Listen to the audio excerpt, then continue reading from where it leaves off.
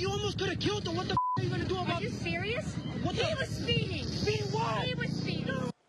The woman accused of two hit and runs while wearing a bikini is locked up tonight. Troopers say Amber Tremblay ran from that crash in Lehigh Acres before being involved in a second hit and run. NBC2 Samantha Serban is live in our studio tonight digging into Tremblay's past.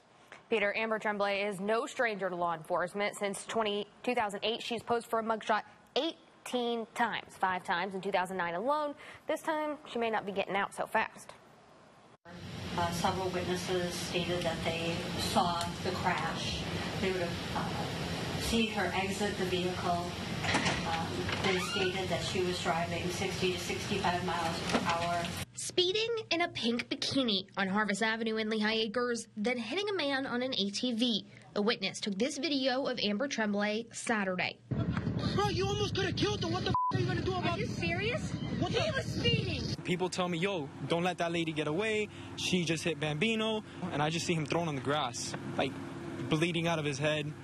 His lip was like cracked open. He couldn't move his toes. You can see the 33 year old getting her stuff and running to a getaway car that also crashed a few blocks away. She got out of the car running and asked us to drive her somewhere else in our car, and we told her to leave. We didn't want any problems. Tremblay got away before first responders showed up. She was on the run for three days before troopers arrested her last night. You're arrested on the following charges, uh, hit and run, failure to remain, driving on suspended or revoked license, third offense. In her first appearance, Tremblay's attorney argued no one saw her behind the wheel of the car, meaning there's no probable cause for the arrest. The judge is giving the state time to add information to their case and come back to court tomorrow morning.